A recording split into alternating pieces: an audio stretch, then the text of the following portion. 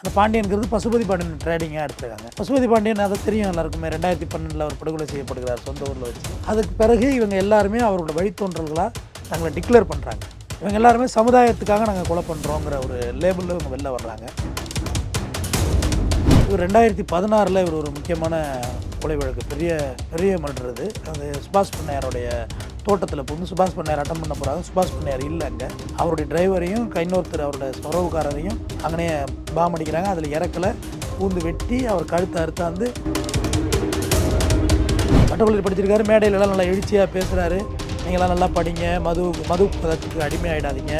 நீங்கள் நல்லா படிக்கணுங்கிறதுக்காக நாங்கள் இப்படி சிறை எடுத்துக்கிட்டு இருக்கோங்கிற எத்திக்கெல்லாம் பேசியிருக்காரு. அதெல்லாம் இருக்குது சென்ஸ் போட்டு அடுத்தது இவர் நெல்லையிலே இல்லை இவர். ஆக்சுவலாக பார்த்தா இவர் வந்து என்ன செய்கிறாரு கோயம்புத்தூருக்கு ஷிஃப்ட் ஆகிடுறாரு ஆனால் அவர் ஷிஃப்ட் காரில் அவர் தான் வர்றாரு. தனியாக வர்றாரு. யாரையுமே எப்பயுமே கூட ஆட்கள் இருப்பாங்களா? அந்த அன்னைக்கு தனியாக வர்றாரு. மாஸ்க் போட்டுருக்காரு நேராக கல்லூரியில் கொண்டு போய் அந்த பெண்ணை ட்ராப் பண்ணிவிட்டு த்ரீ ஹவர்ஸ் வெயிட் பண்ணுறாரு மறுபடியும் அவங்கள பிக்கப் பண்ணிவிட்டு அவங்க தோழிகள்லாம் அழைச்சிட்டு வேறு ஹோட்டல் பெரிய ஹோட்டல் அந்த ஹோட்டலில் வந்து சாப்பிட்றாங்க. சாப்பிட்டு வெளியே வர்றாரு. வெளியே வந்தோன்னே படுகொலை செய்யப்படுகிறார்.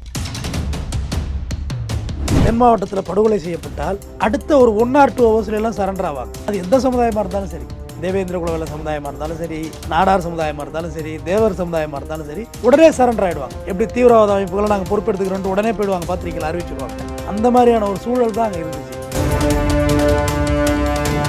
ஆல்மோஸ்ட் நான் சொல்கிறேனே இது வெளிப்படையாக சொல்கிறேனே ஆல்மோஸ்ட் அந்த பழைய பகையெல்லாம் அமர்ந்து விட்டதாக தான் நான் கருதுகிறேன் பலிக்கு பலி பலிக்கு பலின்னு சொல்லி அந்த ரெண்டு சமுதாயத்துக்குள்ள முப்பத்தி ரெண்டு பேருக்கு மேலே இறந்துட்டாங்க. ராமர் பாண்டியன் கொலையிலையுமே இன்ன வரைக்கும் இன்னார் தான் பண்ணாங்கன்னு ஐடென்டிஃபை பண்ண முடியலையே. வடிவேல் முருகன் என்ற ஒருவரை படுகொலை செய்யப்பட்டதற்கு ரிவெஞ்சா இந்த மர்டர் நடந்திருக்கு அப்போ இதுலேயும் ஒரு கொஸ்டின் மில்லேனியன் கொஸ்டின் ஒன்று இருக்குது வடிவேல் முருகனை நேரடியாக தீபக் ராஜா கொலை செய்யவில்லை. அது செஞ்சது இன்னும் மூணு பேர். வேற ஒரு மூணு பேர். அந்த மூணு பேருக்கு மூளையாக செயல்பட்டவர் தீபக் ராஜா.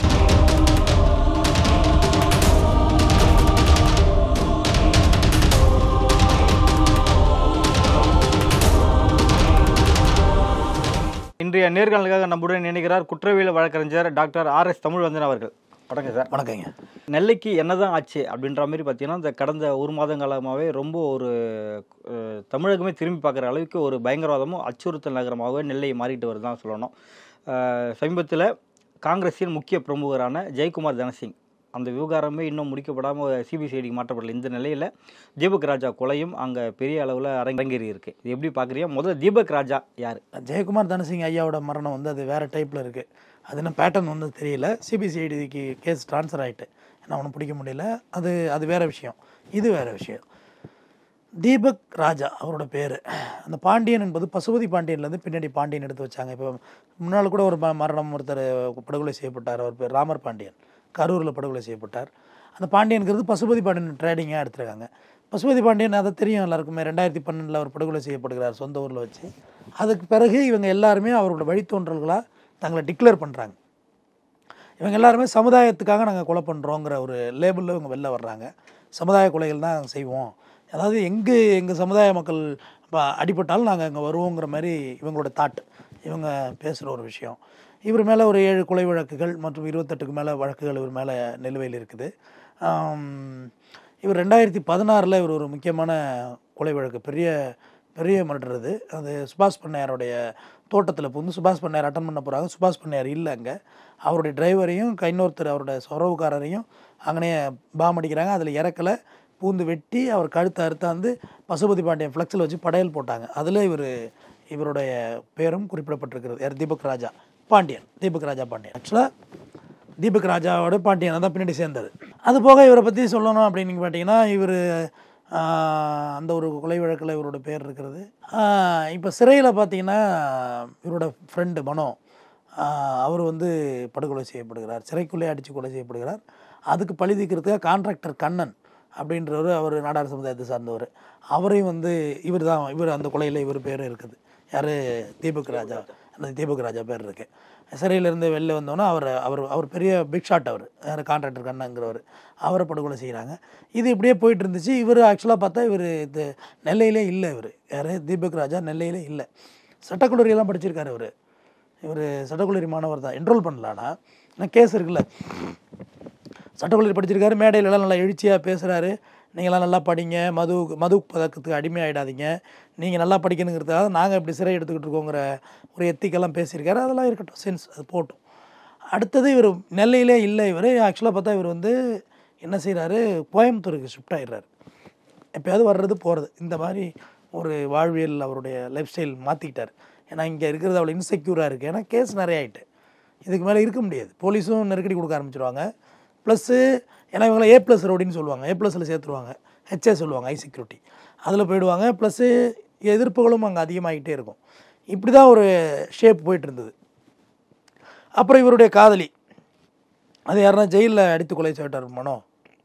அவருடைய காதலின்னு சொல்லப்படுகிறது. இவருடைய சமுதாயத்தை தேவேந்திர குலவெல்லா சமுதாயத்தை சார்ந்தவங்க தான். முதல்ல தேவேந்திர குலவெல்லா சமுதாயம் வந்து தாங்கள் ஆரம்பத்திலே தாங்கள் வேளாண் குடிகள் நாங்கள் பட்டியலினம் இல்லை அப்படின்றது தான் பசுபதி பாண்டியனுடைய எத்திக் அவர் தான் அதை கடைசி வரையும் எங்களையே பட்டியலில் வச்சுருக்கேன்னு சொன்னாங்க. இவங்களும் அதான் சொல்கிறாங்க நாங்கள் பட்டியலில் இருக்க வேண்டிய அவசியம் இல்லை. நாங்கள் வேளாண்குடியை சார்ந்தவர்கள்ங்கிறது இவங்களுடைய ஒரு தியரிக்கல் இது இப்படி தான் அவங்க வரலாறு அவங்க சொல்கிறாங்க அடுத்தபடியாக இவர் அந்த அந்த மனோ முத்து முத்துமனோடைய லவ்வர் தான் இப்போ இப்போ தீபக் ராஜா கல்யாணம் பண்ண அடுத்த வாரம் கல்யாணம் இருக்குது தீபக் ராஜாவுக்கும் அந்த பெண்ணுக்கும் பெண் பேர் வேண்டாம். திருமணம். இப்போ இந்த சூழலில் வந்து அந்த பெண் என்ன சொல்கிறாங்க இந்த மாதிரி என் ஃப்ரெண்ட்ஸுக்கெல்லாம் ஒரு ட்ரீட்டு கொடுக்கணும் நீங்கள் வாங்க நெல்லைக்கு வாங்க ட்ரீட்டு கொடுக்கணும் அப்படின்னு இவர் வருங்கால மனைவி அழைக்கிறாள். அவங்களுடைய நெருங்கிய தோழிகள் கொடுக்கணும் அப்படிங்குள்ள ஒரு இயல்பான ஒரு விஷயந்தான் பட் அது அவருக்கு இயல்பான விஷயம் கிடையாது. சாதாரண சிவிலியன்ஸுக்கு அது இயல்பு.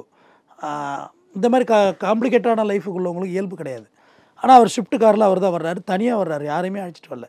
எப்பயுமே கூட ஆட்கள் இருப்பாங்களா? அந்த அன்னைக்கு தனியாக வர்றாரு மாஸ்க் போட்டிருந்திருக்காரு.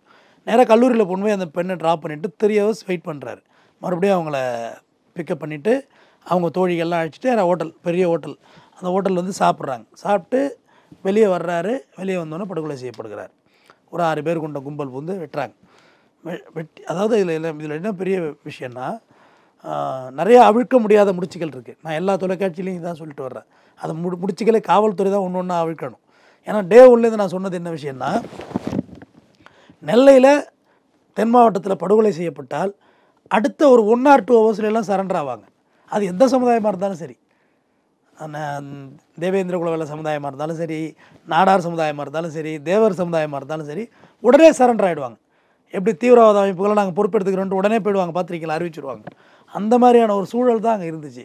ஆனால் இந்த வழக்கில் நான் அப்பையிலேருந்து கேட்டு வந்த விஷயம் வந்து இன்னும் யாருமே நான் அதுக்கான குழுவே இல்லை அப்படின்னப்பே இது ஜாதிய கொலை இல்லை அப்படிங்கிறது மட்டும் என் மைண்டில் ட்ரிகர் ஆகிட்டே இருந்துச்சு. இது வேறு ஏதோ ரிவெஞ்ச் நடந்திருக்கு. ஆக்சுவலாக எல்லாரும் சந்தேகப்பட்டது வேறு மாதிரி.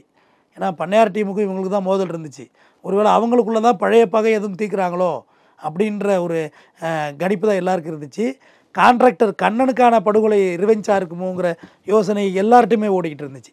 ஏன்னா இதுதான் ஸ்பீடாக மூவ் ஆகிட்டு இருந்த ஒரு ஜேர்னி அந்த ஸ்டோரியில் ஆனால் ஆக்சுவலாக அது யாருமே எதிர்பார்க்கல. இது வேறு வேறு மாதிரி இருந்துட்டு இது தீபக் ராஜாவுமே எதிர்பார்த்துருக்க மாட்டார். எதிர்பார்த்துருந்தா வந்தே இருக்க மாட்டார். ஏன்னா அவர் நினச்சதெல்லாம் அந்த பழைய சர்க்கிளில் உள்ள ரெண்டாயிரத்தி பதினாறு கொலை அந்த பழைய பகையே தான் இவர் திங்கிங்கில் இருந்துக்கிட்டே இருந்துச்சு. புதுசாக ஒரு ஆள் உருவானது இவருக்கு தெரியவே இல்லை. அதனால தான் இவர் ஈஸியாக சிக்கிட்டாப்ல. ஏன்னா பழைய பகை வந்து ஆல்மோஸ்ட் நான் சொல்கிறேனே இது வெளிப்படையாக சொல்கிறேனே ஆல்மோஸ்ட் அந்த பழைய பகையெல்லாம் அமர்ந்து விட்டதாக தான் நான் கருதுகிறேன்.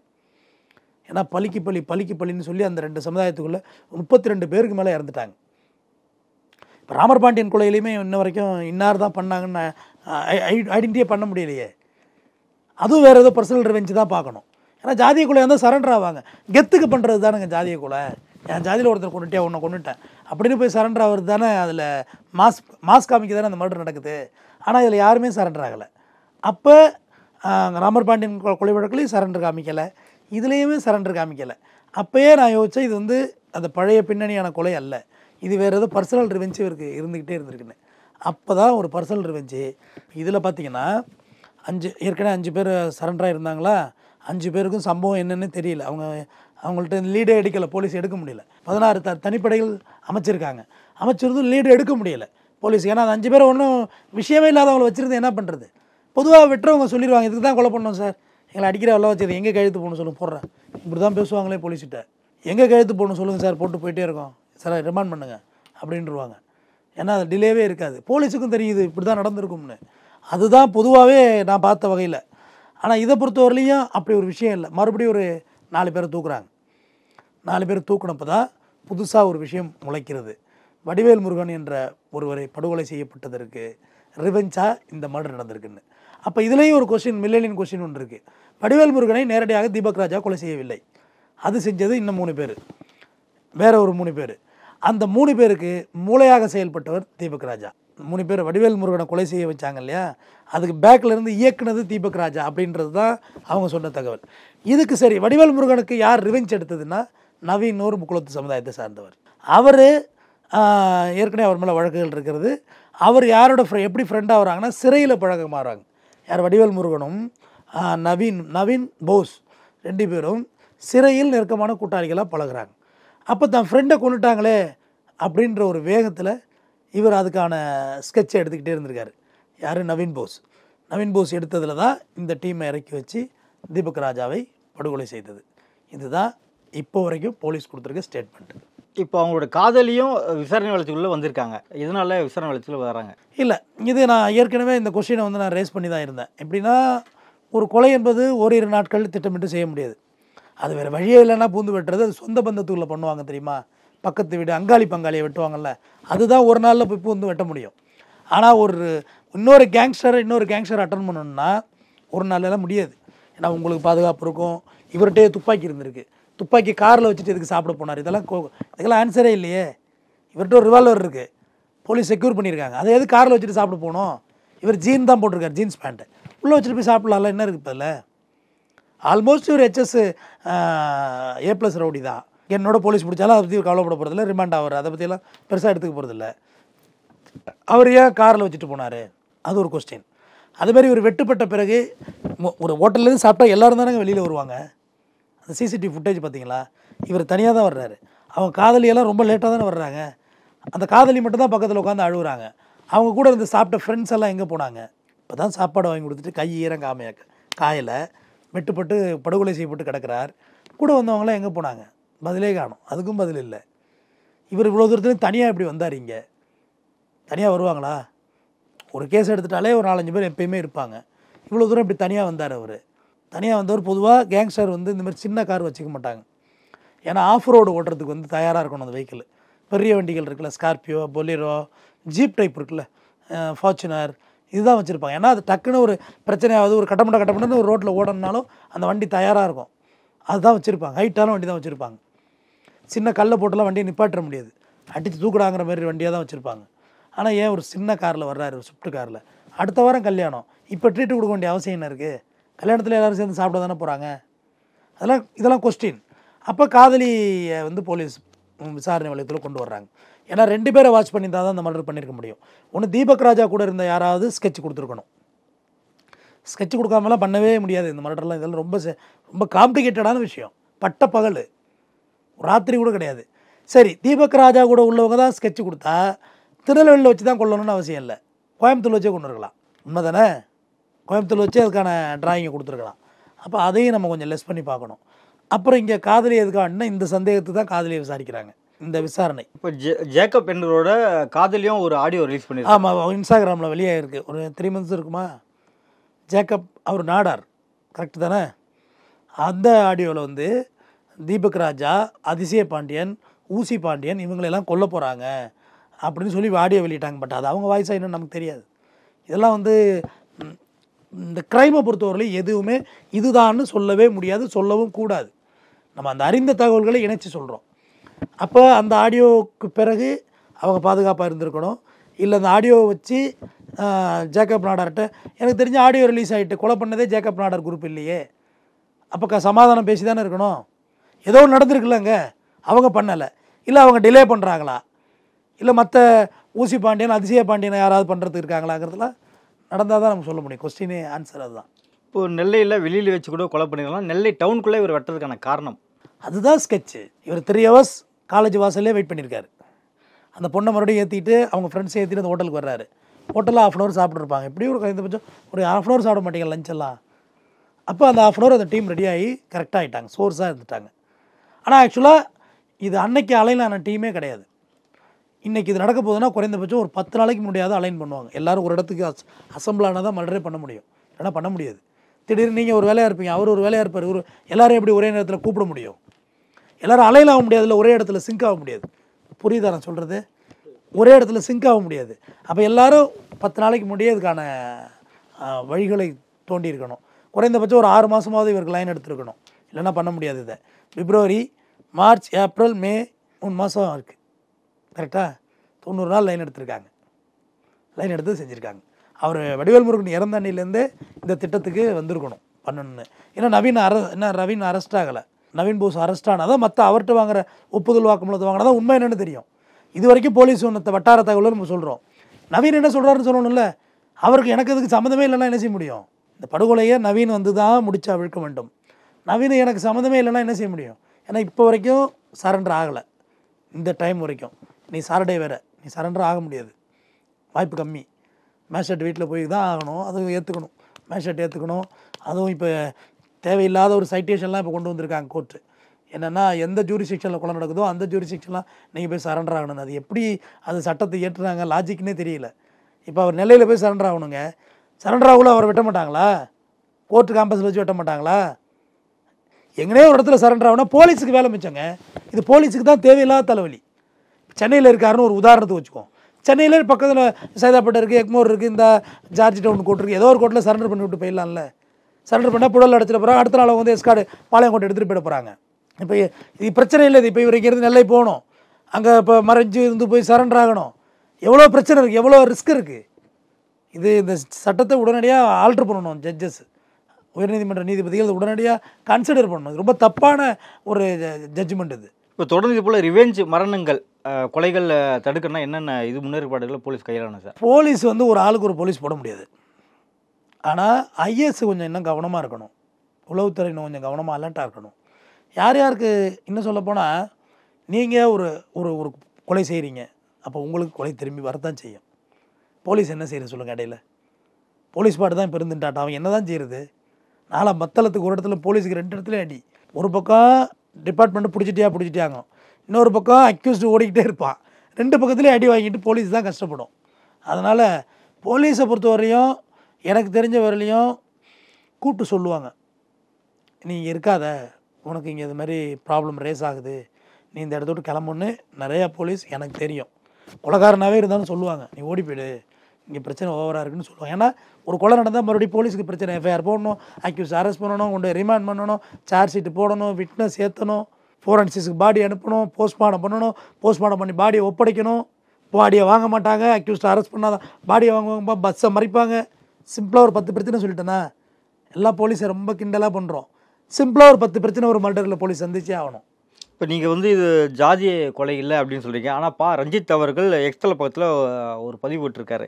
சக மனிதனை படுகொலை செய்யும் மறவர் சமூகத்தை சேர்ந்த சாதி வரி பிடித்த குற்றவாளிகளை உடனடியாக எஸ்சி எஸ்டி வன்கொடுமை தடுப்புச் சட்டத்தின் கீழ் கைது செய்ய கைது செய்து பாதிக்கப்பட்ட குடும்பத்திற்கு நீதி வழங்கிட வேண்டும் அப்படின்னு சொல்லிட்டு எக்ஸ்தல இல்லை பக்கத்தில் இப்போ இது ஜாதிய கொலையா ஜாதிய கொலை இல்லையான்னு நான் சொல்லலை. ஏன்னா நான் ஒரு பொறுப்பான ஒரு வழக்கறிஞர் நான் பொறுப்பாக பேசணும். இதை ட்ரிகர் பண்ணி விடுற மாதிரி இது மாதிரி போடக்கூடாது. அதாவது இந்த படுகொலைக்கு தீர்வு காண வேண்டும் என்று சொல்வதற்கு எல்லாருக்கும் உரிமை இருக்குது எனக்கு இருக்குது உங்களுக்கு இருக்குது நீங்கள் கொலகாரனாகவே இருந்தாலும் உங்களை கொலை செய்வதற்கு சக மனிதனுக்கு உரிமை இல்லை. கோர்ட்டு தான் உங்களை தூக்கு தண்டனை கொடுக்கணும். வேறு யாரும் கொடுக்கக்கூடாது. இல்லை மேலே இருக்க கடவுள் தான் உங்களை எடுக்கணும். ஆனால் இவர் பாரஞ்சித்து போட்டிருக்கிறது நான் நான் வன்மையாக இது வந்து தவறானது இது. ஏன்னா இது வந்து மேலும் மேலும் ட்ரிகர் பண்ணுறது இது. ஏன்னா வடிவேல் முருகன் கொலை செய்யப்படுகிறார். அதுக்கு பதிலாக தானே க தீபக் ராஜா கொலை செய்யப்படுகிறார்.